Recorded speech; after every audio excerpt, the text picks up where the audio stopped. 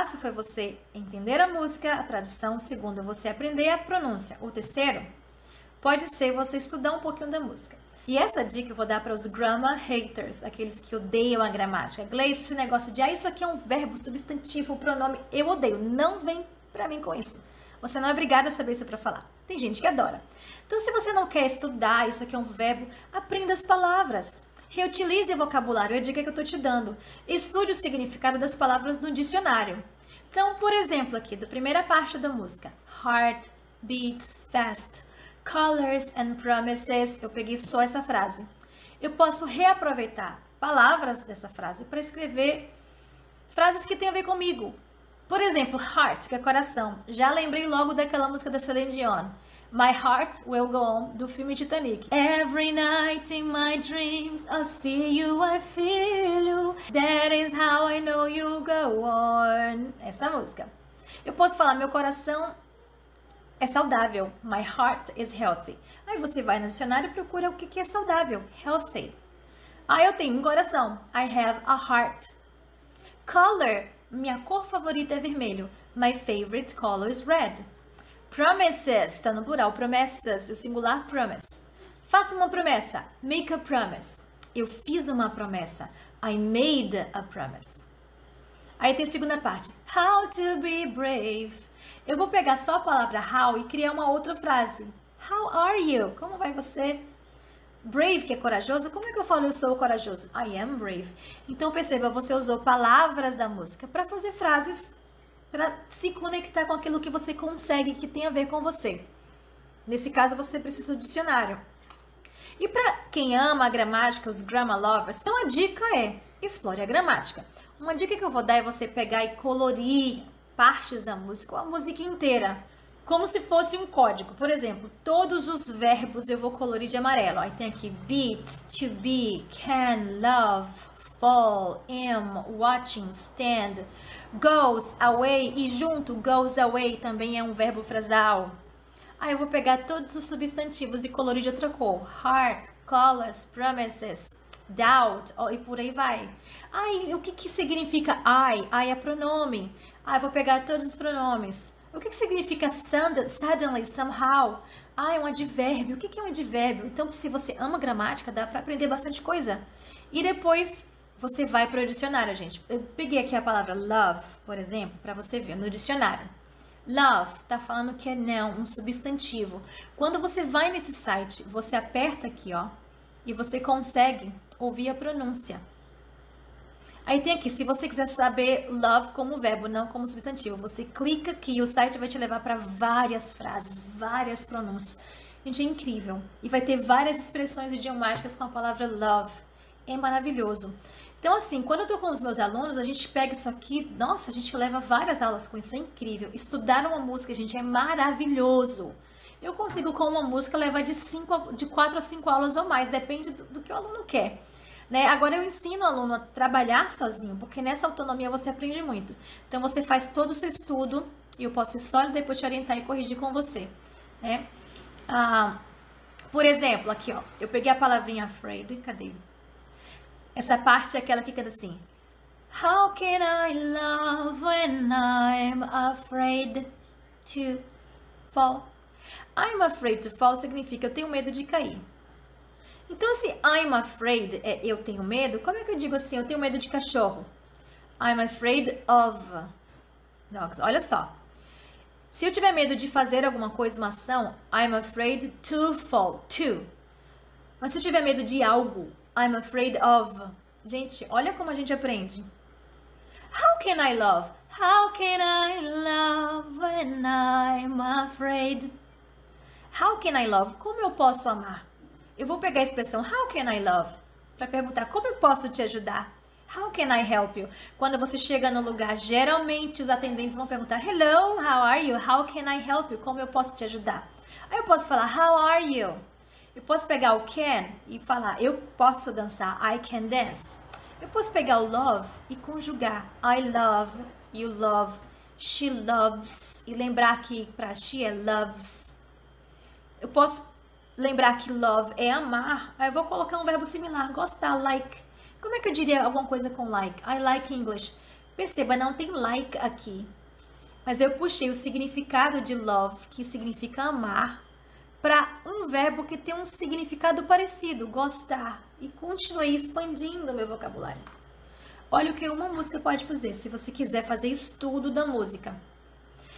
Eu quero ir com vocês aqui rapidamente em alguns sites que eu super recomendo. Se você é um grammar hater, você não quer estudar gramática, só o vocabulário, embora você vai acabar caindo um pouco na gramática, mas assim, os dicionários que eu super indico.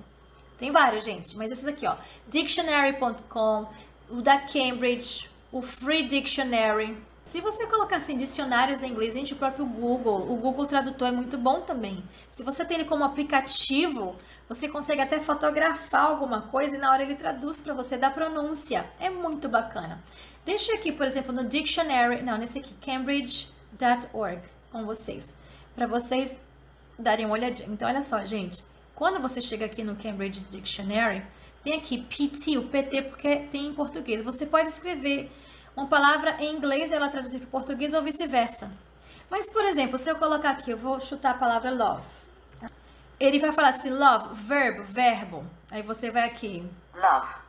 A tradução, love. Love. Love. Duas pessoas falando a pronúncia, na verdade, né? Embora ele possa te dar a tradução, mas você lê as definições em inglês. Olha só a definição. O que é love? To like someone very much. To, to like someone very much. Gostar de alguém muito. E pode ser também no contexto sexual. E ter desejos sexuais por ele. Não quer dizer que amor é só isso, mas aqui uma das traduções, das explicações. To like someone very much and have sexual feelings for them. Nisso que você lê o significado em inglês, a palavra tem inglês, a explicação tem inglês, você acaba ampliando ainda mais. Gente, aqui vai ter todas as expressões que existem com love, frases. É extenso isso aqui, aqui, ó. Você pode ver todos esses aqui que tem a ver com love. Fazer amor, make love.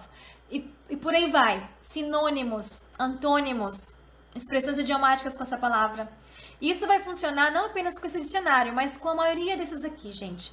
Se você gosta muito, esse aqui, ó, que eu vou indicar para vocês é para quem gosta da parte gramatical mesmo, porque Quiz Your English, quando você vai pro Quiz Your English, você pode testar a sua gramática, tem várias atividades de gramática para você. Quiz Your English faz parte da Cambridge Assessment English. E você vai ter que fazer, claro, né, gente? Você vai ter que aqui, ó, change language, você pode mudar para outros idiomas. Brasil aqui, ó, Brasil para ajudar quem ainda não lê fluentemente. Você pode, se eu não me engano, se eu não me engano, vai ter um aplicativo que você pode fazer no celular.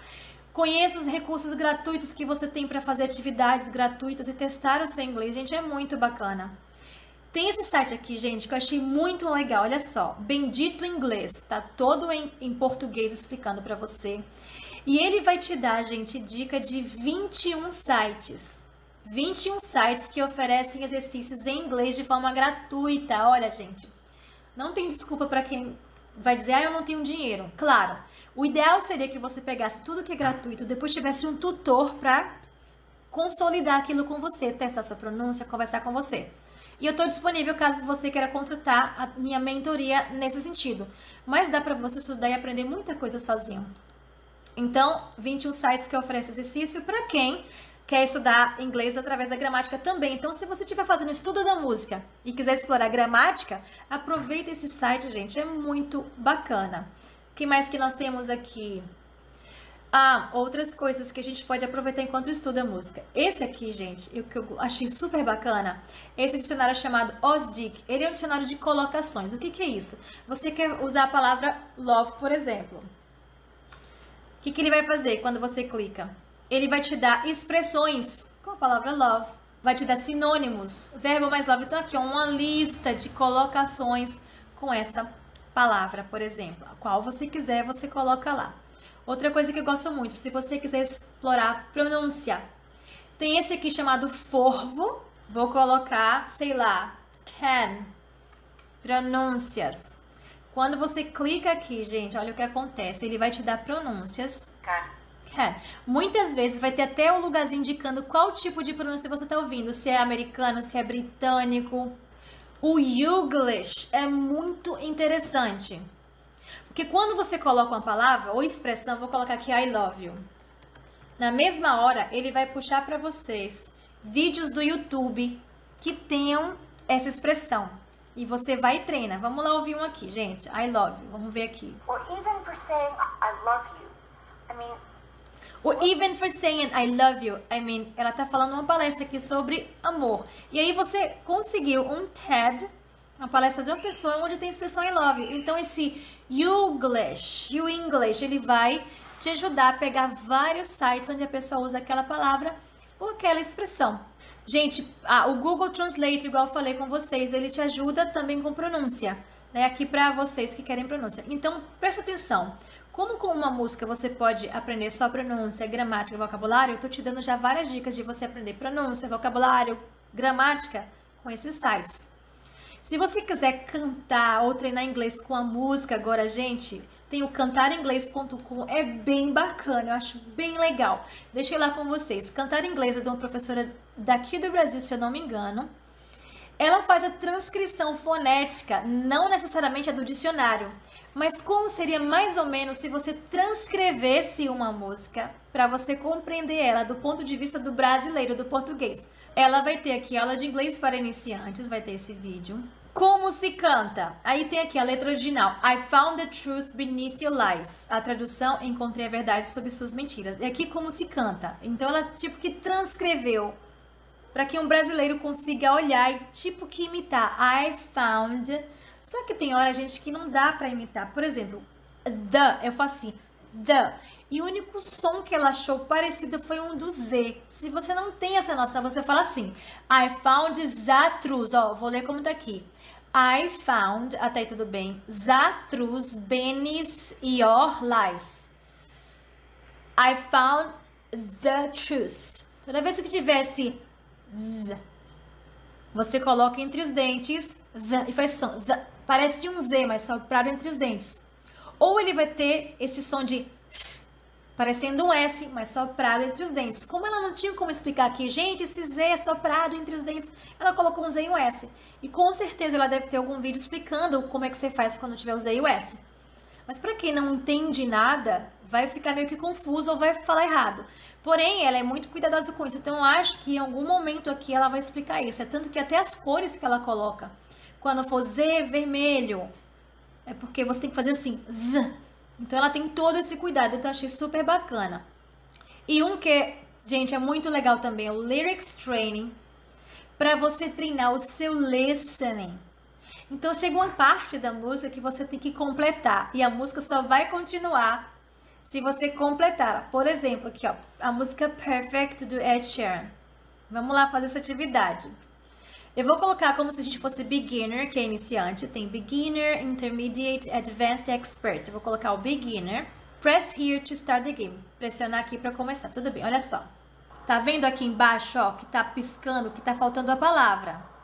I found a love for... I found a, a música para. Você só consegue se você escrever a palavra. Faz de conta que eu ouvi more aí não vai para lugar nenhum. Ele só continua se eu colocar love, que é a palavra certa. I found the love for me. Gente, é muito legal. Para você não perder o jogo, você pode ter a letra ao seu lado para você comparar. Gente, por fim, mas não menos importante, é isso aqui. Vai pro YouTube, gente, escreve o nome da música que você gosta. Escreve karaoke. A thousand years karaoke. Pronto, eu gosto muito desse aqui, Sing King. Eu gosto muito desse site, tem muitos karaokês. Então você vai e aí você treina, gente. E quando você estiver treinando essa música, você treina falando, lendo, cantando. Tem várias formas de treinar. Então vou dar dois exemplos de como você pode treinar a música. Esse primeiro é você falando a letra dentro do tempo musical. Heart beats fast. Colors and promises. How to be brave. How can I love when I'm afraid to fall? Cantando. Watching you stand alone all of my doubts suddenly goes away somehow.